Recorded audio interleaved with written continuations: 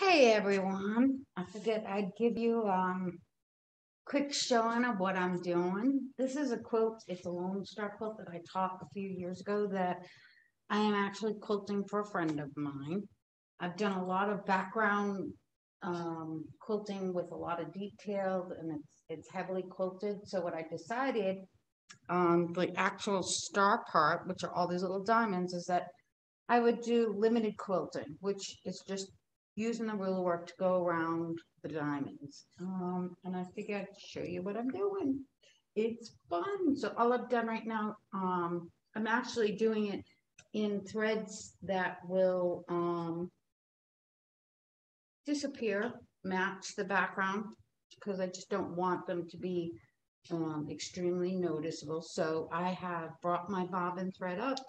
I'm just going to give a couple quick stitches just so that it kind of locks it in place. And I'm using my one of my rulers. Yes, I could probably do this without the ruler, but personally I feel really comfortable, much more comfortable with the ruler than I do free motion. So I'm just going to use my ruler.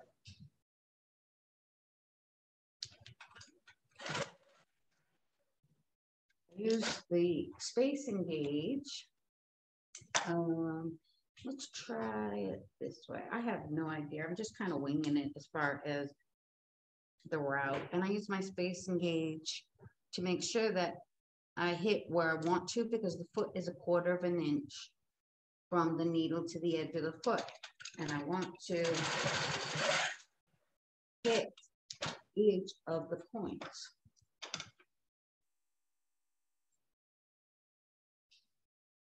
And for those of you who are wondering, this is a cute little pop socket. It's a mini pop socket that I found, believe it or not, in um, CVS. Came as a pack of three. And I can adjust the pop socket any place that I need to, but on some of my bigger rulers, sometimes I just want that little extra help.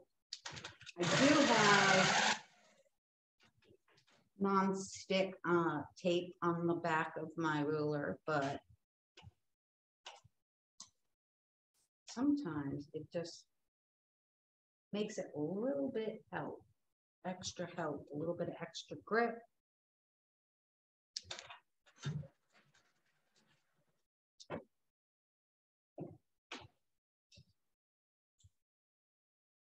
I'm using my quarter inch spacing gauge to make sure I get it exactly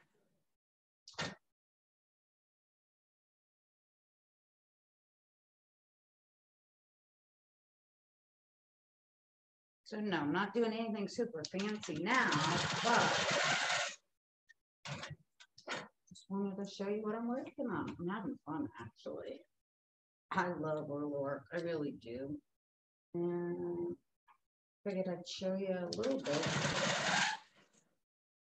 I could do work probably every day, all day, I probably would. The only thing I probably would give out would be my feet and my legs. So when I go down here, I'll probably change thread colors, not probably, but I will change thread colors so that it will hide any foo or gaps or anything like that.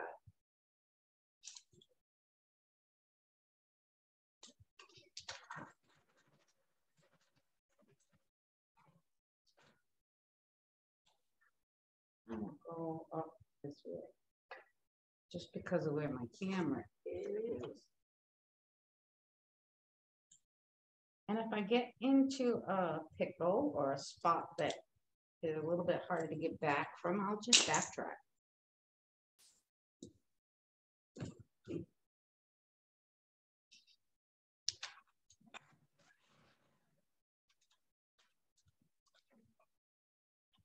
After a while, I get pretty good at at um, spacing and figuring out your spacing. So for instance, like here, I'm definitely going to run into a problem. So I have two options. I can go stitch in the seam or.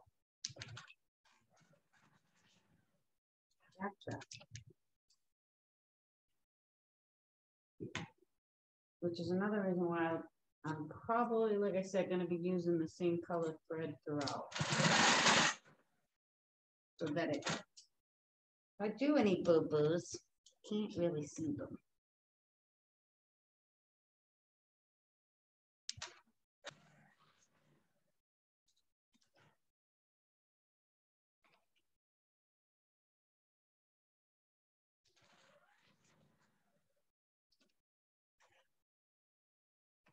I really am having.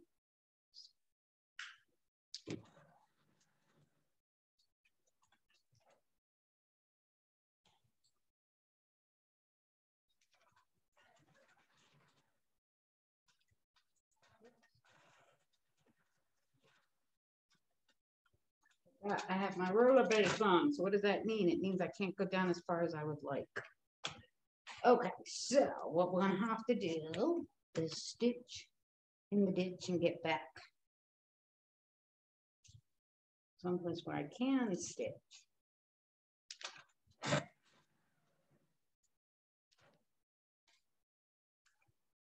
There.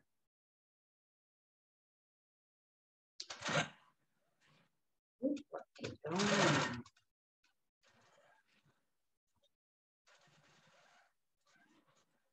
Oh, definitely have to unstitch that part.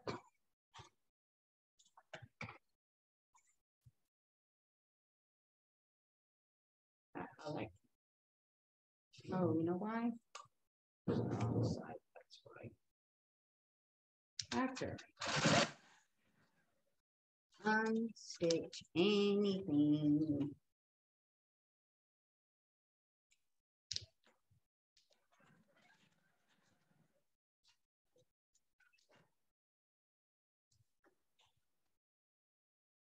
Getting to a pretty good groove.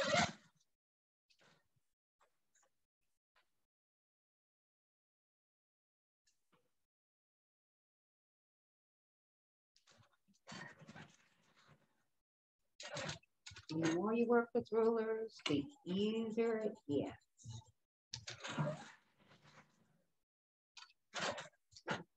But I will warn you, even I make mistakes. So once in a while, you have to rip out. But I'm okay with that.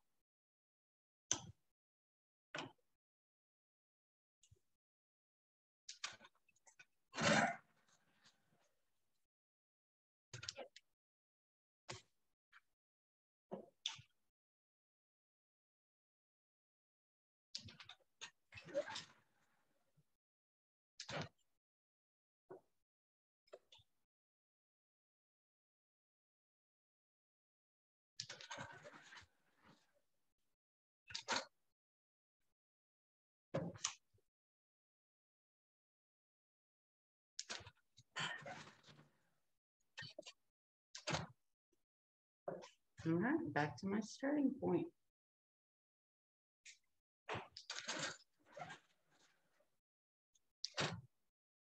There you go. Other than my little boo-boo, but that's okay. I will unstitch that little part that I messed up because I came back and did another curve. I hope you like it and I hope you enjoy it. And I will show you more as I keep on going on this quilt. Have a great weekend, everybody.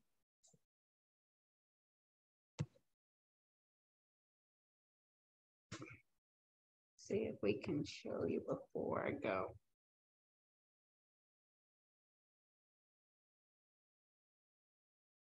Hopefully you like it.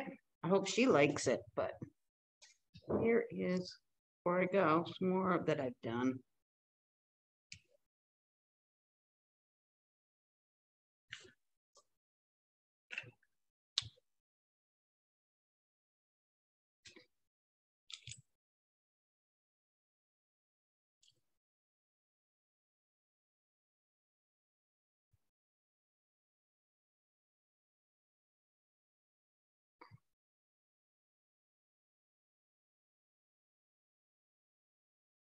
All right, everybody, have a great weekend.